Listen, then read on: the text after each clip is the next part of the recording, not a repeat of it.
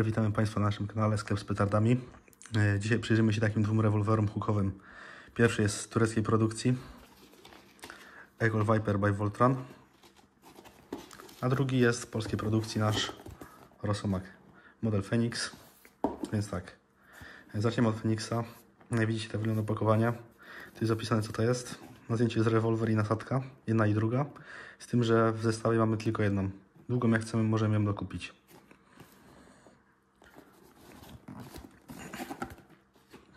Wskazówka, numer seryjny, model oraz jego przeznaczenie.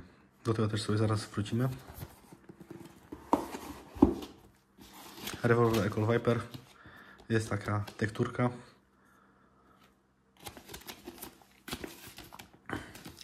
Model, model, kolorystyka, numer seryjny. Tutaj również są inne kolorystyki. Inne kolorystyki Państwo widzieli, że na naszym kanale to jest zwykły czarny, także on też już u nas był. I tak to wygląda. Przechodzimy do otwarcia. Zapakowany w walizeczce. Otwieramy.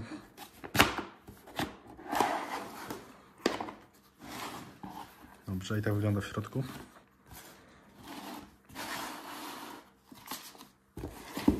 A Fenix wygląda tak. Otwieramy sobie. I tak. Mamy tutaj Fenixa.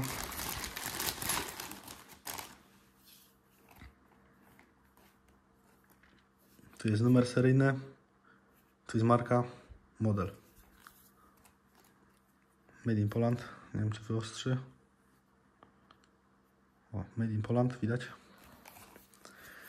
Zaraz wrócimy co do, co do, ten, co do reszty opisu. No i w środku mamy jeszcze tak, wydział do czyszczenia. Oczywiście czyścimy po każdym strzelaniu.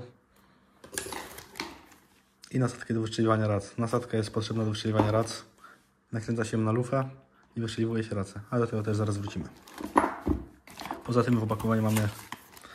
E, co tu jest? Tak. Świadectwo tej broni. Jak widzicie, to jest producent, model i każdy indywidualny pistolet ma swój indywidualny numer. Tu jest ten numer oraz rok produkcji. Pieczątka. Jak to wygląda. No i tutaj karta gwarancyjna oraz instrukcja obsługi. Jak to używać, wszystko. Cały schemat konkretny pistoletu. Przeznaczenie, przepisy.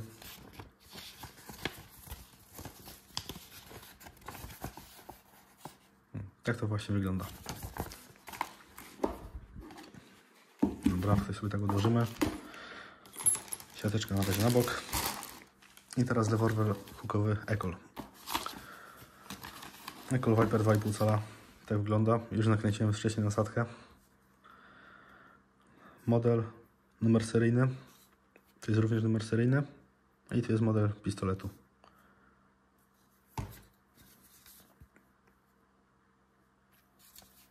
Tu już trochę, jak widzicie, było dotykane, także smugi się porobiły. No ale to trzeba wyczyścić i wszystko będzie w porządku.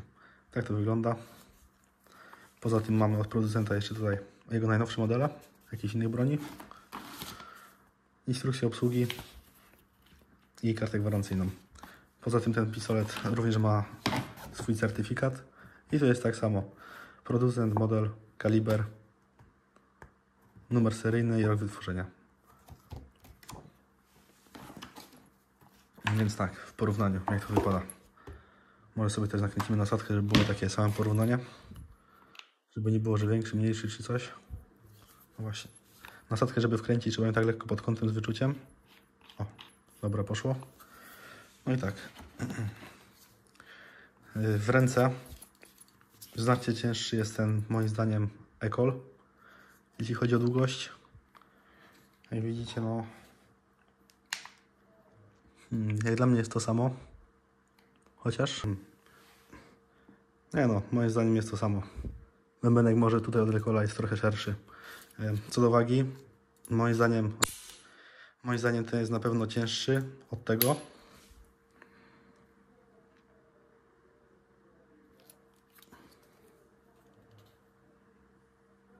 No tu? Nie, to samo. Tylko ten bębenek jest większy tutaj w ekolu właśnie. Co do pojemności magazynka. Przepraszam, bębenka. E, To tak, do Phoenixa nam wyjdzie 9 sztuk. Oczywiście jest na longi, takie jak tutaj mamy. Tak jest, e, właśnie się prezentuje amunicja 6 mm long, a do Ekola wchodzi 6 sztuk. No jak widzicie do niego wchodzi 6 sztuk, a do Phoenixa wchodzi 9 sztuk. Mm, Różnica cenowa jest taka, że aktualnie ten rewolwer Phoenix kosztuje 459 zł, a Ekol kosztuje najtańszy, tam jest czarna kolorystyka, jak się nie mylę, 499 zł albo 500, nie, 498 zł, tak, za Ekola. I kwestia tego, mm, co Państwo wolą, to już naprawdę tak zależy od tego, czy wolą Państwo mieć taki model. I takie podsumowanie, który rewolwer jest lepszy. Więc tak, Ecol Viper ma 3 sztuki pojemności bębenka mniej od Phoenixa, ale za to jest cięższy. Yy, Jeśli o to chodzi, ja bym radził to dla kogoś, kto ma taką porządną dłoń. No dla mnie on jest niestety bardzo nieporęczny, a Phoenix jest znacznie wygodniejszy. Osobiście. Wiadomo, to jest kwestia tam, jak komu to leży. Yy, No i co? Tu wejdzie 6 sztuk, tu wejdzie 9 sztuk. No ale w obu przypadkach mamy to samo zastosowanie. Jak widzicie, w obu mm, rewolwerach dostajemy od razu nasadkę, instrukcja obsługi, certyfikat, no wszystko jest, że tak powiem, potrzebne. Yy, Rosamok jest polski, Ekol jest turecki. Na przeznaczenie mamy to samo. No, na Sylwestra sobie strzelamy fajerwerkami. Są i tak race kolorowe. Tutaj mamy takie hukowe, najbardziej, najczęściej kupowane do właśnie albo straszania zwierząt, albo żeby sobie postrzelać. Możemy wzywać pomoc gdzieś na odludziu, w górach, na jakichś wycieczkach, właśnie jeziorach. Rozpoczęcie startów w konkurencjach sportowych. Tresura psów, żeby właśnie były odporne na huk, nie trzeba było im podawać jakichś leków. No i do samoobrony ewentualnie, jeśli chcemy przepłościć się napastnika czy tam włamywacza. Ale osobiście nie wiem, czy to jest najlepszy pomysł.